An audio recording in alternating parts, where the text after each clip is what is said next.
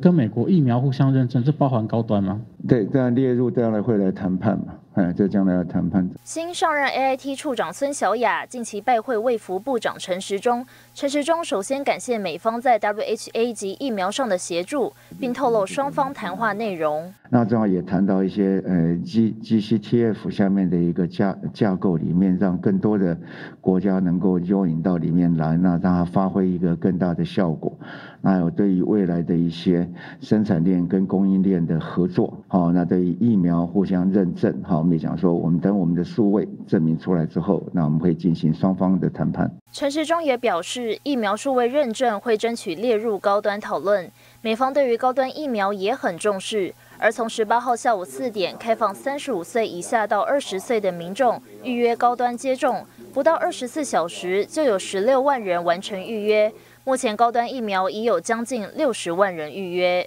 这两天大家看到，这是下午四点开始，